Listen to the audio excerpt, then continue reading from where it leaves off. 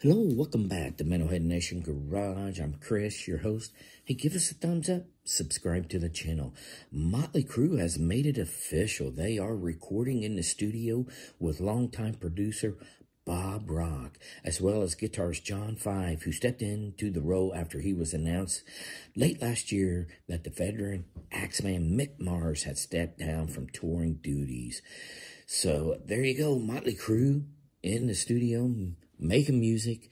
Um, so uh, Mick Mars is nowhere to be found there, and John Five is there. So uh, looks like this is this dispute is ongoing with uh, Mick Mars.